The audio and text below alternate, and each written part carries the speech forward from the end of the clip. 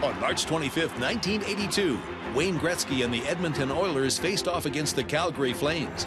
Midway through the first period, the Oilers opened the scoring as Gretzky gained control of the puck in the corner and set up forward Pat Hughes for a goal.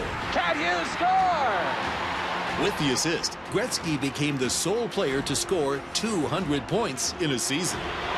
Fans are giving him a standing ovation. I don't think that anybody thought that 200 points was attainable uh, in, in the National Hockey League.